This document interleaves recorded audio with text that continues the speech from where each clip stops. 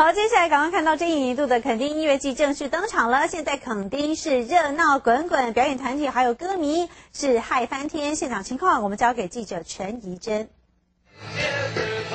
好，主播入夜之后的垦丁是越来越热闹。你看看我们现在所在的现场，就是位在猫鼻头公园，在这里呢，一年一度的音乐节已经登场。你可以看到现场来了很多年轻人哦，这些年轻的美眉呢，大概有数千位，都集中在来到来这个猫鼻头的公园。呃，今天晚上呢，在这里的这一场音乐会呢，不但请到这个范晓萱、百分百乐团，还有林宥嘉、陈绮贞、蔡健雅等等艺人呢，来到这边进行演唱，在台上劲歌热舞。我们现在看看现场的画面。